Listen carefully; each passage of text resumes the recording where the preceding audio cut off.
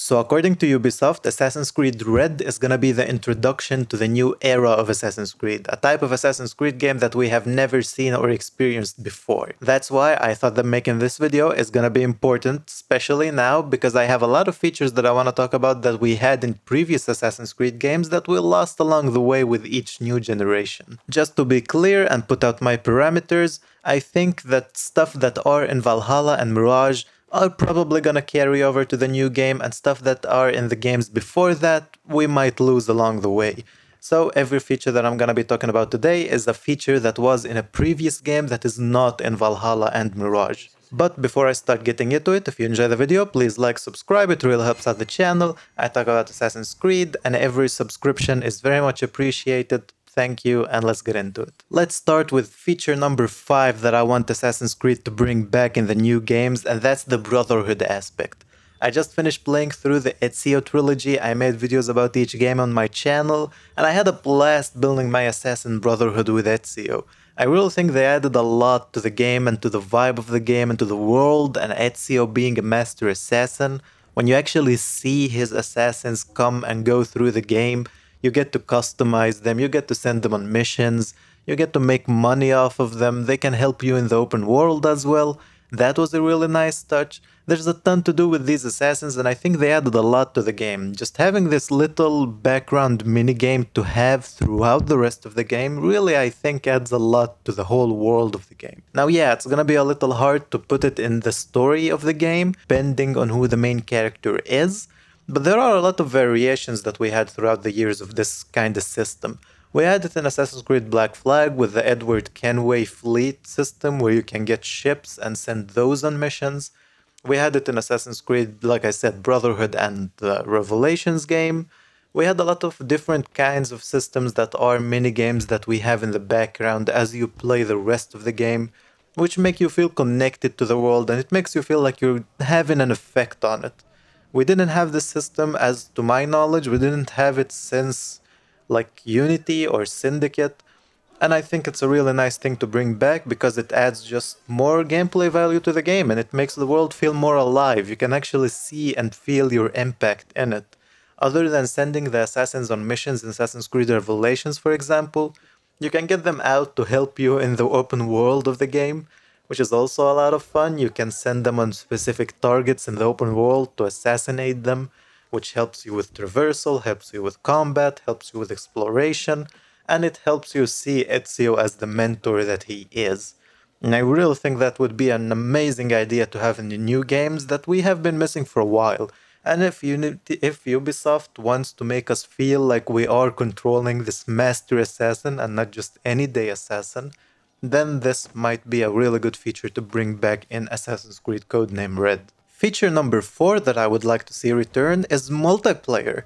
Now to be honest, I started playing Assassin's Creed with Black Flag so I didn't get to experience the multiplayer of Brotherhood in its prime, but I did play a bit of Assassin's Creed Black Flag Brotherhood and it was fun, it was a nice change of pace, it was different from every other multiplayer game out there, it's based on stealth and being smart and not just Twitch action shooter stuff. So I think it's a nice thing to have in the whole gaming world as a whole, as a multiplayer game, but also it would add a lot to the value of the game. It would be a nice break from pace when you compare it to the story and how that goes. But yeah, it would be a really nice thing to have and I think it would add a lot to the value of the game, especially if you can unlock cosmetics throughout it to use in the main game. And to be honest, if I want to play devil's advocate, Ubisoft can monetize it to shit. They already have the bundles in the game, they already sell those for very expensive prices. They could just use them in the multiplayer. They would make more money, we would have more options, it would be a win-win. Yeah, it would be monetized and it would slowly and very surely turn into Call of Duty. It's a slippery slope, as we know nowadays with most games, but it would be useful. I think it would add a lot of replay value, a lot of fun, and a nice break from pace, also from the main story, but as a whole from gaming community. It would be a nice type of different multiplayer to have that is not just shooting people with Twitch emotions, Twitch reactions. Feature number 3 that I would like to see return is parkour. specifically the parkour of Assassin's Creed Unity. Now, this connects to other stuff that we had in Unity. I would also like to see the co op return in the game, just going around the open world with your friends. Seems like fun. I never got to experience it, but it does seem like an amazing next step to have in Assassin's Creed. But let's focus on the parkour. Just having a parkour system that's fun to explore and mess around with really adds too much to the game. And if you think about it, most games, open world games that are fun, they focus on their traversal. The big reason everyone likes Spider Man for PlayStation 4 and 5 is because web swinging feels so good. The big reason everyone loves Assassin's Creed in the first place is because the parkour felt so good. I like the parkour more in the Ezio trilogy. I know that's really controversial to say, but actually I do prefer it. I feel like it has a higher skill gap. But I also love the one in Unity, and it's arguably a lot more flashy and more fun than Ezio. But either one of those would be really nice to have back in Assassin's Creed. I know that Mirage did a lot to bring back the feeling of parkour and traversal, but I don't think it did enough. I think it still feels kind of sluggish and too similar to Valhalla. I would like to have kind of new options to use, you know, something that makes the game unique. I know that everyone likes to shit on Syndicate because of the traversal and the grapple hook, but I'm gonna put my neck out there and say that I actually love it because the grappling hook adds a different kind of variety to the game and it makes it stand out between the other Assassin's Creed games. Yeah, it makes the parkour too easy and kind of forces you to not use it in the first place and just grapple everywhere. But in my opinion, it adds a lot to the feeling of the game and making the traversal feel unique. My point with this specific issue is that I want the next game to feel like I can't have that traversal in any other game. I can't have the traversal that we have in Unity in any other game because it's so nicely done and so deep and engaging. I can't have the traversal that we had in Black Flag with the ships because I can't have it in any other game, I guess until Skull and Bones releases. Point is, I would like to have new traversal options in the new game, and if they would bring back the Unity parkour system, and add to that the option to play with your friends in the open world, that would make the open world itself just infinitely replayable and infinitely more fun.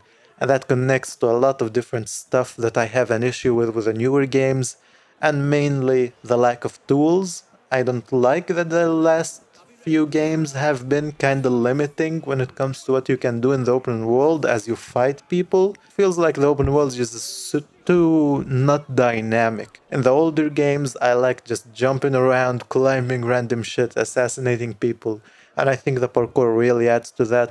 So that's my number three feature that I would like to see return in the new game. Feature number two that I would like to see return, and I can't believe that I have to say this, side quests. I don't care if it Templar hunts or random side quests like we had in Odyssey, just something outside of the main quest. I don't know where it went with Valhalla and Mirage. After you finish Valhalla and Mirage, you can do the collectible usual Ubisoft hunts, but there are no side quests. I don't mean that there are no like random things that you can do in the open world. I mean actual side quests with characters, with stories and conclusions and effects on the world. I have no idea why they removed it in Valhalla and Mirage. The only side quest that I can think about in Mirage is the one with Ali Baba, but that's a pre-order quest, and the only one that I can think of in Valhalla is also a pre-order quest with a Berserker mission. And I think that's kind of blowing my mind. Where are the side quests in these games? It really scares me that the next game will not have any side quests. After you finish the main story, you should be able to play through side quests to experience the world and continue interacting with people. It's one of my favorite things to do in Black Flag and Odyssey just finishing the game and going around talking to random people, solving their issues, having fun, experiencing the world that I haven't experienced throughout the main story. It really is mind blowing that they took it out in Valhalla, and I hope to God that they bring it back in Red. If that is not back, I can guarantee the game is gonna be boring as shit. Not that Valhalla and Mirage are bad, mind that, but it would be really boring, so I would love to have side quests back they are inspired after all from Witcher 3. And the one thing we all know famously about Witcher 3 is that the side quests are really good and they are on the same level as main quests. And actually, they could have solved it really easily with Valhalla because most of the missions felt like side quests. They could have just taken out four or five orcs from England, put it as optional, then we would have had a more tight story and an option of side quests that we can do. Honestly, would have solved a lot of the issues the game has, but I guess that's too late now. Either way, I hope that they bring back side quests in the next game because it really adds to the world of the game. And after all, that's why I personally play Assassin's Creed because I like to immerse myself in these open world historical settings and just experience the world with day to day NPCs and stuff and problems that they have. And last but not least is the faction system from Assassin's Creed Odyssey. I know Assassin's Creed Odyssey isn't the best one, it's not the most liked one, it's not the most famous one, but you cannot convince me that the faction missions were not fun. I love having the option to go to a specific area, side with one faction, either being the Spartans or the Athenians, and assassinate the leader of the other faction, take over camps, push them out of the region, and then end it up all with a big massive battle that you can fight in that faction. Be in a sea battle or a land battle, both were fun. But just having that option, having that feeling that you can influence the world and who controls it, having the option to infinitely replay this kind of game between the two factions really added a lot to the world and really added to the end game stuff that you can do. Most of my Assassin's Creed playthroughs end with the main story, and I think that's really a bit of a shame because I would love to experience more stuff with Ezio, with Altair, with Kenway, with all of them. But after you finish most of the side quests, there is not much to do in these games other than replaying it or like min-maxing it with 100% completion, stuff like that. But with Assassin's Creed Odyssey, we had the option to do this infinitely even after you finish the game, you can go to an area that you experienced and liked, to a specific island or to a mountain, some place that you love in the game, go side yourself with a faction and help them gain control of the area, or help them lose control of the area. You can do whatever you want.